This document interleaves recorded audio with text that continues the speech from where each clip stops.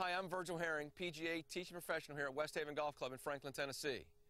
The average golfer only hits two greens in regulation per 18 holes, so that leaves us a lot of opportunities to chip and get up and down from around the green. I'm going to show you three options to better lower your score. The most common thing we see on TV from here is the PGA Tour player grabs the lob wedge. The lob wedge has bounce, which allows it to skid across the turf but it also provides the highest level of risk because it has the biggest swing. So when we're hitting a shot like this, we have a narrow stance and we lean our weight forward, and we are trying to just brush the grass with the bottom of the club, just like that. But let's say you're not very comfortable with a lob wedge. Old school wisdom says, grab your eight iron. So when we grab our eight iron, it's not going to carry as far. It's going to be a much shorter swing. We will still get in this narrow stance with our weight lean forward. And we will have just more of like a putting stroke.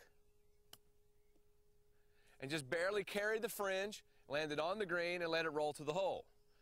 Ah, but the trick shot of them all, the hybrid. This is such an easy shot for any level of player. You grip down the shaft, and almost like it's a putter, and from here, this club will not dig in the grass because the sole is very wide. It gives you a ton of forgiveness, gets the ball up and rolling over the, the fringe. If you stick to this shot, this one is the ultimate insurance policy for your short game. Follow these three rules when you're trying to get up and down, and we're going to lower your score.